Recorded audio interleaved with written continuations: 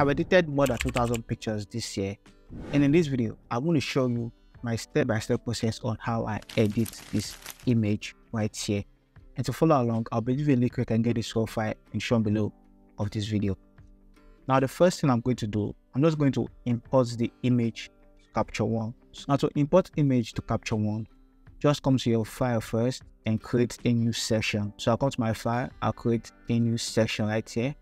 So I'm going to rename this section YouTube video and just select where I want this section to be saved. So this section is going to be saved under my picture. You can see for the location and I'm going to click OK.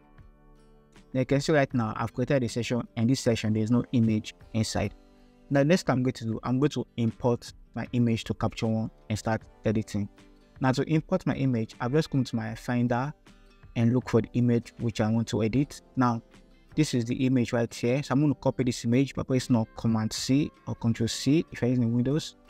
You just come to my picture, look for that Capture One session which I created, which is this YouTube video right here, and just paste that picture inside this capture folder right here by pressing on Control V or Command V to paste.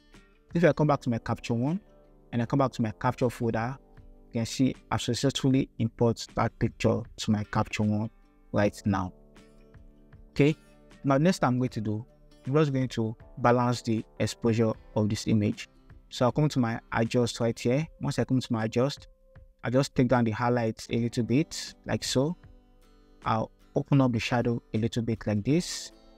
Also, I'll come to the level slider and just move this black slider inside like this and also come to the white slider which is the highlight and just move it inside like this i'm also going to desaturate the whole image so i'll come to my color i'll come to my base characteristics and change the ICC profile from Nikon Z8 to Leica M monochrome like this i'll go to my Leica and choose monochrome neutral right here.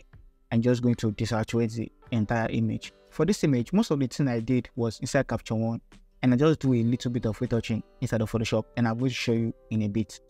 Now, the next thing I'm going to do, I'm just going to select the skin tone of my subject and just desaturate it, right? So I'll come to this layer and mask right here. Under this layer mask, I'm going to click on this drop down arrow, just click on new empty layer. Once I click that new empty layer, I'm just going to select the skin of my subject and work only on the skin of my subject, right? Now to do that, I'm going to pick on this AI brush tool right here. So once I select this AI brush, Capture One AI will automatically mask out the skin for me. So you can see once I select the skin, it's just going to mask out the skin. I'm going to click on the skin right now and it's going to mask out the skin. Also, I'll come to the face, just click on the face like that. Also come to the leg and click on the leg like this. If I press M on my keyboard, you are going to see the mask. If I press M again, it's going to hide that selection. So I'm going to press M and under this adjustment layer, I'm going to right click and just click on refine edge. Once I click on refine edge, I'm just going to use 80, a radius of 80 and click OK. So that the edges of the mask is going to be smooth, it's not going to be hard, alright? Now you can rename this layer as skin tone like this, alright? Now next I'm going to do, I'm just going to even out the skin tone and just try to desaturate the skin tone a little bit. Now to do that, I'll come to my color. Under my color, I'll come to my color editor. Now under color editor, you are going to see skin tone right here. I'm going to select my skin tone and click on this picker tool. Once I click on this picker tool, I'm going to select any part of the skin I want the rest part of my skin to look like, which is a reference, all right? So I'm going to make this part right here as a reference. I'm going to select it, okay? Now, once I select that part, you can see it has sampled that color for me. Now, what I'm going to do, under the skin tone, I'm going to scroll all the way down and come to this uniformity. So I'm going to be playing with the hue and saturation of the uniformity slider. Alright, so I'll move the hue up like this and also move the saturation up like this. And just you can see right now, it has made the skin to look even. So I think I'm going to take the hue down a little bit and also take the saturation down a little bit like this. So so let's see the before and after. Just take a look at the skin tone. So see the before and the after. The before and the after. Looking so much better. Now next I'm going to do, I'm going to make another selection of the skin tone. So I'll click on this drop down icon again and click on new empty adjustment layer. So once I create that new adjustment layer, so instead of manually selecting the skin tone again, what I can do, I can just right click and just copy mask from the skin tone. So you're just going to copy the mask we have for the skin tone on this adjustment. So I press M on my keyboard, you can see we have that mask right now. So I'm going to press M again to hide that mask. Now next I'm going to do, under my color again, I'm going to scroll all the way down. This time I'll come to advanced instead of skin tone. Once I come to advanced, I'm going to sample the color of the skin tone like this, all right? And just take down the saturation a little bit, as you can see. Also, take down the lightness a little bit, just like this, all right? So let's work for me. So let's see what's starting from where we're right now. So this is the before and the after. The before and the after. Like I said, most of the thing I did was inside of Capture One. The next thing I'm going to do, I'm just going to add contrast to this image, right? So I come to my background layer again, which is this image one, and just come back to adjust. And this time I'm going to take this part inside a little bit more like this, and take this part inside a little bit more like this to add more contrast to the image. So is where we started from and where we are, where we started from and where we are. So next I'm going to do, I'm just going to take this image out of Photoshop and do this skin retouching and also a little bit of background manipulation. Now to do that, I'm just going to right click. So once I click on this image right here, right click on it, I'm going to click on edit with and click on edit with Adobe Photoshop right here. And I'm going to use PSD, my CC profile is on Adobe RGB and just leave this one as default and just click edit variant. So once this image opens inside the Photoshop, now before I continue, if you've learned from this video so far, let me know in the comment section, right?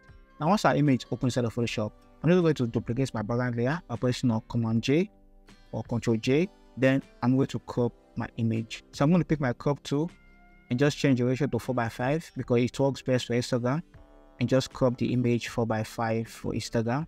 So that this works for me, I'm going to click on OK. And for the top, what I can do, I can just use the generative fill to fill the top right there. And if you don't have the generative fill, you can use the content aware fill. Now to do that, I'll pick my rectangle marquee tool like this and just make a selection of the image like this where I want to fill. You just click on generative fill. And if you can see your generative fill right here, just come to your windows and click on contextual taskbar right here and it's going to open. So I'm going to click on generative fill and just leave it blank and just click on generate. So you can see it has three options now. See the first option, the second option, and the third option. So I think this third option works better. I'm going to leave it, see the before and the after. So I'm going to merge this generative fill layer and this layer one together. I'm pressing now Command E or Control E to merge them. All right. Now next I'm going to do, I'm just going to do the skin retouching for this image. And I'm going to be using the Retouch4me to do it. So I'll come to my action right here and just click on the Retouch4me right here.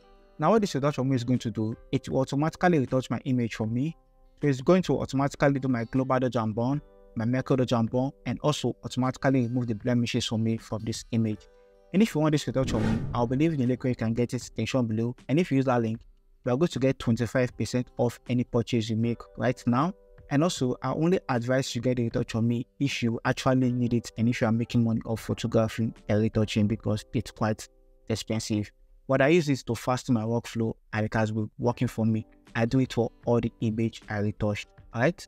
So let's just wait for it to load right now and you are going to see the before and the after. Right, it has finished loading. Let me go show you the before and after. So this is before I retouch on me and after I retouch on me. Just take a look at the image, the before and the after. And like I said, inside this group, we have the heal, which is to remove the blemishes. So see the before and the after. You can see that remove the blemishes for us. Also, we have the micro dodge and burn, so the before and the after. We also have the global dodge and burn, the before and the after. And you can choose to take this one opacity up if you want like this, so the before and the after. And we also have the eye vessels right here. If there's any uh, red veins on the eyes, so it's going to remove it for you. So the before and the after. So that's what is inside the group, right? Now this image is looking good already. So next I'm going to do, I'm going to create a stamp visible layer by pressing on Command Option Shift E. Once I create a stamp visible layer, I'm going to come to my filter. I'm going to come to my Reblum and just use the Reblum retouch to enhance the image and retouch it even more. Now the Reblum retouch will automatically help me retouch my image and still maintain the natural feel of the image. So that's why I like using this Reblum. It's natural and the result is really, really amazing. And if you want to try Reblum for several days free trial, check the link in the shop below of this video. So let me just zoom in so you can see the before and after of the Reblum retouch. So you can see. So this is the before and the after. The before and the after, just a subtle difference. And you have two options.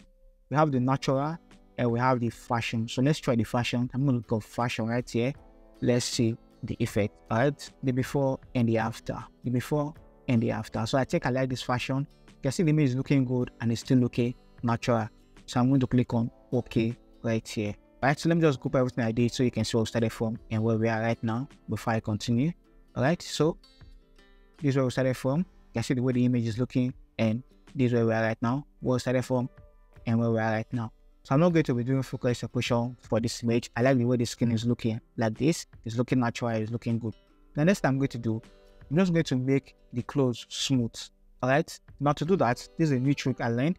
So I want to create a sample symbol by pressing on Command Option Shift A or Control Shift Alternate A.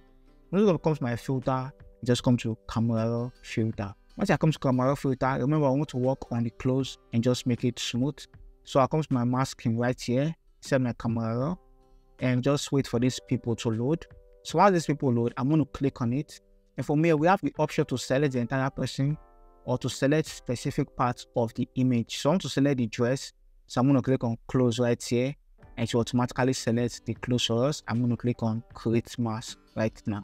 Since my clothes is selected, what I'm going to do to smoothen it out, I'm going to scroll all the way down and just come to my texture right here and just take this texture down all the way to 0% as you can see. Alright, so let me quickly show you the before and after for the dress. So take a look at the dress, the before and the after. The before and the after. So I'm going to click on OK.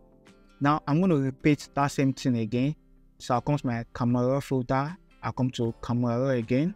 I'll make a selection of the dress click on close, click on create mask, scroll the way down, come to the texture and just take down the texture even more like this. So you can repeat this process. When I was editing my, I think I repeated it about six times. So you can just keep repeating it.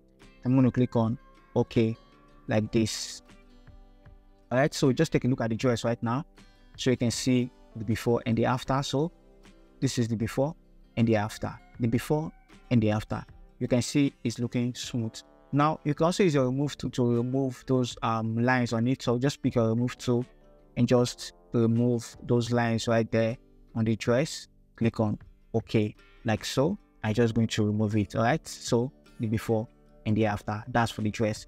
Right. So I'm also going to remove this distraction right here. So I'm going to use my remove tool to just remove this distraction right there. The next I'm going to do, I'm going to add a little bit of overlay to the background. So I'm going to create a stamp now by pressing on Command Shift Alternate E. So I'm going to select my subject. So I'll pick on any selection tool.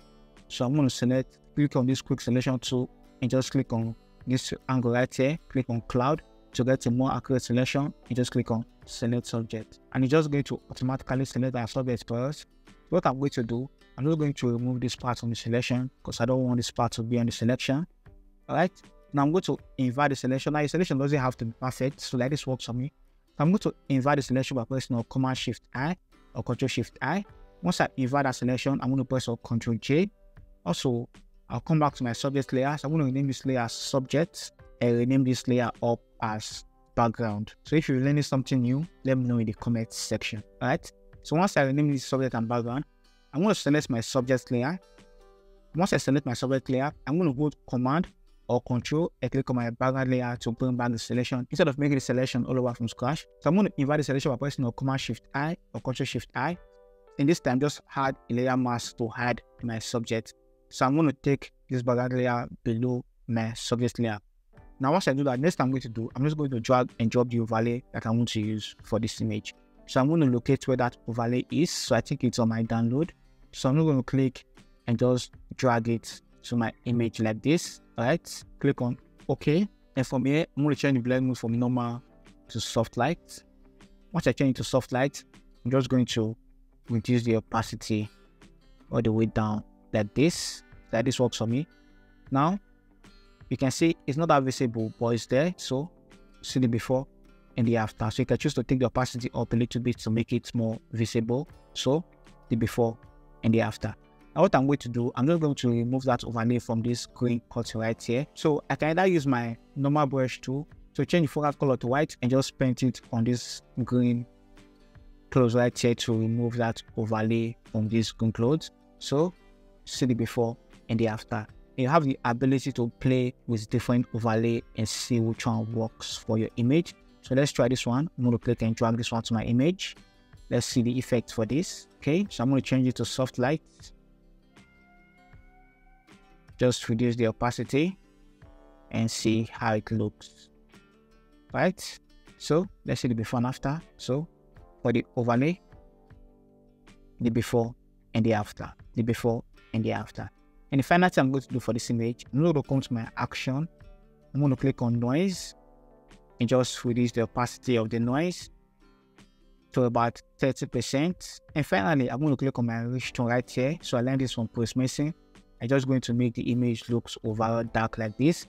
And you can just play with the opacity and just take it down like this. So I think 20 works for me for this image. So let me just go back with my idea so you can see where we started from and where we are right now. right so see our before and after. Our before and after. So this is how I retouch this image from start to finish. And if you want to learn more retouching tutorial, check out this playlist right there. I'll see you guys in my next one. Take care.